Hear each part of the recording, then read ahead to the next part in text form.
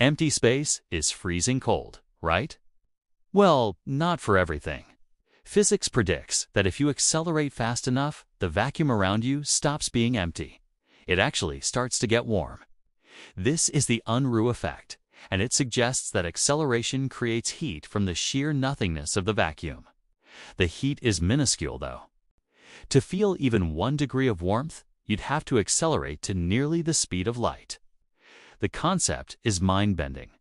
The state of nothingness depends on how fast you are moving. Scientists are now using high-powered lasers and atoms in labs to simulate this effect and prove this crazy prediction. The universe is far weirder than you think. And next time you hit the gas, remember you are theoretically heating up the fabric of reality itself. It's a wild thought, isn't it? If you're fascinated by the mysteries of physics, hit that subscribe button for more.